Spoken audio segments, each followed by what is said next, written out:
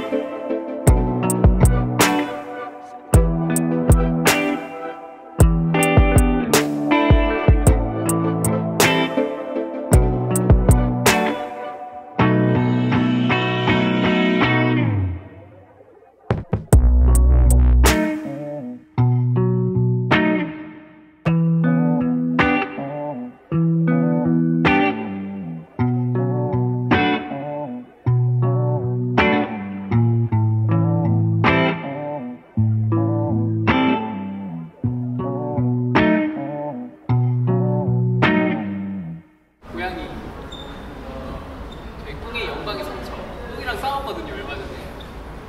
비겼어요.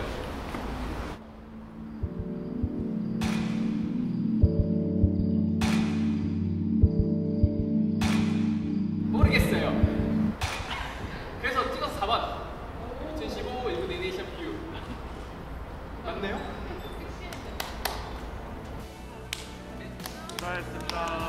제가 오늘 이제 지큐 한번 찍었는데 이렇게 다섯 착을 정말 후딱 찍었어요. 오랜만에 포도 찍고 이렇게 제가 좀 변신을 했잖아요. 머리도 붙이고 스타일링을 좀 새롭게 했는데 이번 기회에 뭔가 화보나 이런 거 한번 찍으면 좋겠다 싶었는데 좀 찍을 수 있었어요.